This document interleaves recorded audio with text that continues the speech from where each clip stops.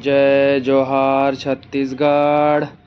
आज का मैं इस वीडियो गाँव के नल कनेक्शन वाले वीडियो से शुरू करता हूँ। सुबह का समय है, सूरज अभी अभी निकला है, दुकानें के शटर खुल रहे हैं और मेरी खूब मेहमान नवाजी किया जा रहा है। तो चलिए देखते हैं यहाँ का खाना पीना नाश्ता किस तरीके से परोसा जाता है, किस तरीके से गाँव का माहौल रहता है। तो चलिए देखते हैं। सुबह सुबह यहाँ पर सब्ज़ी वाली गाड़ी आ जाती है और हर घर के लोग बाहर निकल के गाड़ियों से अपना सब्ज़ी खरीदते हैं।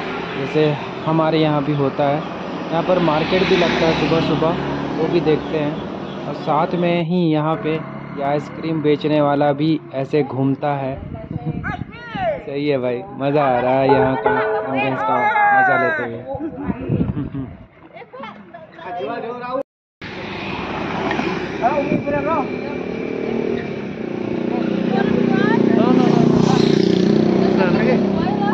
No, no, no. Say hi. हूँ What is that? Mm. We call uh, it bungkiel. Bunkiel. It's a tempe but from Tempeh. beans, red beans. Okay. We call in pakora, India. Same. Oh. Chicken, salad. What else? Style ये plate के ऊपर कागज़ कागज़ में खाना खाना खाने के बाद कागज़ को फेंक दो तो प्लेट साफ़ करने का उतना झंझट नहीं है। मतलब इनका रिक्शा है और ये मार्केट की एंट्रेंस है। जैसा कि मेरे पीछे देख रहे हो, मैं इंडोनेशिया के गाँव के बाज़ार में हूँ। इंडोनेशिया के गाँव के मार्केट में ये इन, इनका हर वीकली मार्केट नहीं होता है, ये हर दिन लगता है। सुबह आठ बजे से दोपहर के दो बजे तक इनका, हर दिन का ये मार्केट है। यहाँ पर भी हमारे जो गाँव के वीकली मार्केट है, लेकिन यहाँ वीकली मार्केट जैसा ही है।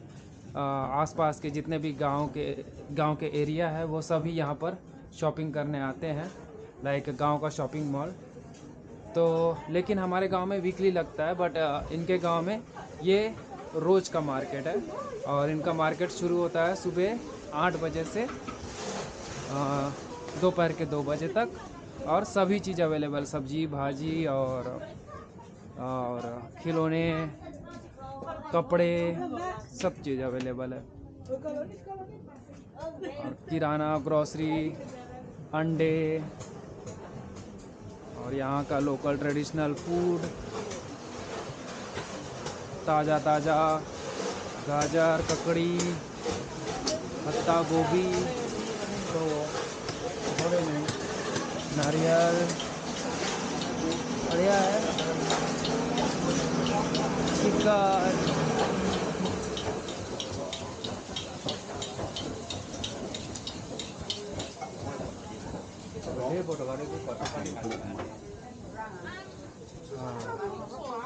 बट हमारा जो मार्केट है इनके बरसात में भी बढ़िया है कोई टेंशन नहीं है।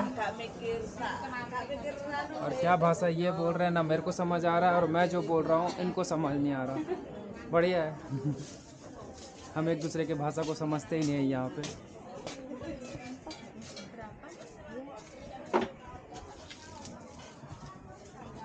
तो इनका जो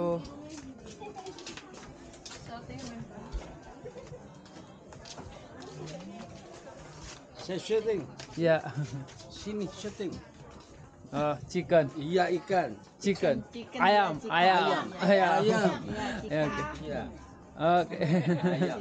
Tahu. Tahu. tahu Ya. I like it oke oke Tahu. Okay भाई मस्त लोग है यार इंडोनेशियन बेस्ट है तो ये इनका पूरा इस तरीके से कवर अप है। कवर है मतलब ओपन मार्केट नहीं है इनका। तो इस तरीके का मार्केट है। सॉरी ज़्यादा भीड़ नहीं है अभी। अभी सुबह साढ़े आठ ही बजा है। और मैं सुबह जल्दी उठ के आने का जो मैं जल्दी उठने वाला इंसान हूँ तो सुबह जल्दी उठ के आ गया देखने कि ट्रेडिशनल मार्केट इंडोनेशिया का किस तरीके का है। और देखते हैं यहाँ पे क्या क्या है लचक इंडोनेशिया का फ़ूड है लग रहा प्लास्टिक जैसा है। ये जो है हमारे इंडिया में मतलब हमारे छत्तीसगढ़ में गुजिया के नाम से जानते हैं। हमारा गुजिया मीठा है यहाँ का गुजिया थोड़ा सॉल्टी है। और नेम. पास्tel इधर पास्tel इसका नाम है Carrot inside and potato. You wanna try? No no no इसके अंदर में गाजर और पोटैटो आलू और गाजर भरा हुआ है और हमारे गुजिया में सूजी भरा हुआ रहता है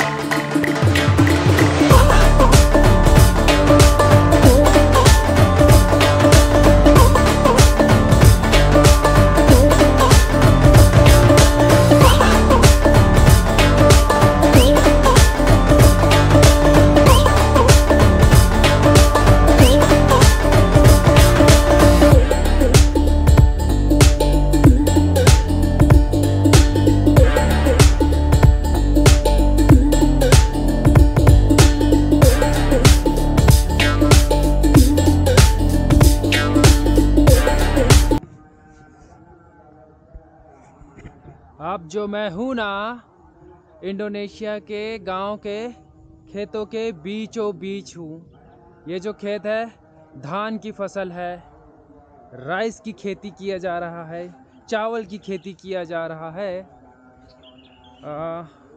ऑलमोस्ट इनका जो धान है, जो राइस है, जो चावल है, पौधा जग चुका है। जो मैंने अपने गाँव वाले वीडियो पे किसान भाइयों के साथ जो चिल कर रहा था वो उस समय बो रहे थे धान को बट यहाँ पर अभी गर्मी का मौसम है, बरसात जस्ट ख़त्म हुआ है तो ये गर्मी के फ़सल अभी उगा रहे हैं क्योंकि इनका पास बोर वगैरह की फैसिलिटी ज़्यादा है तो ये दो बार, साल में दो बार फ़सल करते हैं। तो चलो देखते हैं इनका सिस्टम कैसा है बट यहाँ ज़्यादा लोग तो दिख नहीं रहे हैं और इंग्लिश भाई, इनको तो भाई साहब बहुत मुश्किल है समझ, बात कर पाना। तो बस मैं ऊपर ऊपर से ही दिखा सकता हूँ कि इन लोग का काम कैसे करते हैं और कैसा इनका स्ट्रक्चर है खेती बाड़ी करने का। यहाँ पर ना गाँव के अंदर में अल्फ़ा मार्ट इंडो मार्ट और सेवन इलेवन जैसा मिलना थोड़ा मुश्किल है। तो ऐसा ऐसा दुकानें हैं। जो अपने देश में भी है, गली मोहल्लों में जो दुकानें होती है, उधर भी है और छोटे छोटे रेस्टोरेंट भी है, नाश्ता और ये सब चीज़ करने के लिए। लेकिन हाँ इंडियन खाना तो मिलना मुश्किल ही है, नामुमकिन सा है। तो ऑब्वियसली बात है इंडोनेशियन ब्रेकफास्ट मिलेगा इंडोनेशियन लंच मिलेगा। तो ऐसे छोटे छोटे दुकानें हैं छोटे छोटे रेस्टोरेंट हैं। और देखते हैं, और क्या मिलता है। मेरे को ना इस देश में एक डिफरेंसेस लगा है। हमारे यहाँ पर जो बड़े बड़े जो ट्रक होते हैं ना, इनका जो ट्रक है ना एकदम छुटकू जैसा है। एकदम खिलौनों की जैसा। बचपन में खेलते नहीं थे? वाला, वैसा सिस्टम वाला इनका ट्रक लगता है मेरे को। मस्त है। और कुछ कुछ ट्रक तो बहुत फैंसीबल और मतलब कलरफुल और ये तरीके से स्टाइलिंग किया हुआ है ना। अगर मुझे आगे चल के कुछ दिखता है या कुछ मिलता है ना तो मैं ज़रूर शूट करता हूँ और वीडियो क्लिप में वो डालता हूँ।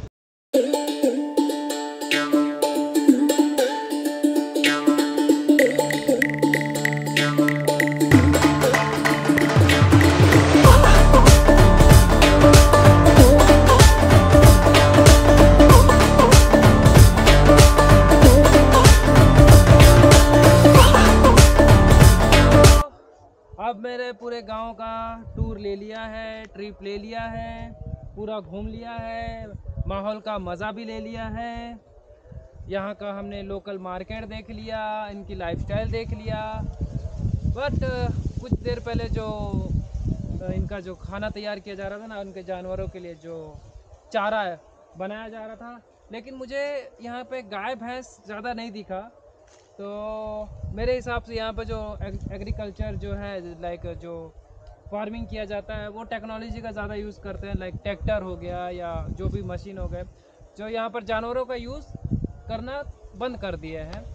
हाँ बकरी है, बकरी ये दूध के लिए यूज़ करते हैं और खाने के लिए यूज़ करते हैं। तो बकरी है, बकरा है, सब है यहाँ पे। और ज़्यादा डिफरेंसेस बोलूँ तो मेरे को 80 से 90 परसेंट जो है हमारे देश का और इनके देश के गाँव में 80 से 90 परसेंट सेम लगा। कुछ ज़्यादा डिफरेंसेस लगा नहीं। जैसे कि आपने मेरा पूरे वीडियो में भी देखा होगा तो अपने को कुछ ज़्यादा डिफरेंट लगा नहीं होगा। आपको लग रहा होगा कि मैं इंडिया के गाँव में हूँ, लेकिन मैंने वीडियो पे देखा होगा कि यहाँ के लोग जो बात कर रहे थे लैंग्वेज का तो बहुत बड़ा प्रॉब्लम है। ऑब्वियस ही बात है यार इंग्लिश हमारे गाँव की भी प्रॉब्लम है, और यहाँ भी प्रॉब्लम है। दुनिया के हर किसी ऑलमोस्ट सभी गाँव में प्रॉब्लम देखा हूँ। ये है एशिया के गाँवों में। आगे चल के भी मैं और दूसरे दूसरे देश के गाँव में ट्रैवल करूँगा, गाँव के कल्चर को देखूँगा, गाँव के कल्चर को एक्सप्लोर करूँगा क्या क्या तरीके हैं क्या क्या चीज़ें हैं, क्योंकि गाँव की जो लाइफ है ना, वो मुझे मज़ा आता है। मुझे देखने में मज़ा आता है, जीने में मज़ा आता है, क्योंकि जो pollution free pollution free country नहीं पॉल्यूशन फ्री जो रहते हैं विलेज में, वो जो सांस लेने में जो ताजगी महसूस होता है ना, वो मुझे मज़ा आता है। सुबह सुबह का समय उठो और मैं भी अपना लाइफस्टाइल वैसे ही चेंज कर चुका हूँ। मैं सुबह चार बजे उठ जाता हूँ, दस बजे तक सो जाता हूँ। तो मुझे ये लाइफस्टाइल फॉलो करना कुछ ज़्यादा टेंशन वाली लगती नहीं है। पहले नाइट लाइफ और ये सब चीज़ें थी तो नाइट रात रात भर जगना, रात रात भर काम करना। अब वो थोड़ा लाइफ चेंज करता जैसे जैसे उम्र, बुढ़ापा होते जा रहा है तो लाइफ थोड़ी चेंज होते जा रही है। तो उस और गाँव के जो लाइफ स्टाइल है, वो मुझे बहुत मज़ा आता है। तो इसीलिए मैं हर कंट्री में जा, जाता हूँ, जाने की कोशिश करूँगा कि गाँव में भी जाऊँ और वहाँ का लाइफ को एक्सप्लोर करूँ कि हमारे देश के और यहाँ के चीज़ों में कितना डिफरेंसेस है और कुछ अलग चीज़ें देखने को मिलता है। तो शायद मैं आप लोगों के साथ शेयर करूँ और कुछ लोग उन चीज़ों को देख के कुछ अच्छा चीज़ सीख जाएँ और हमारे देश में भी उन चीज़ों को यूज़ किया जाए और थोड़ा तरक्की हो।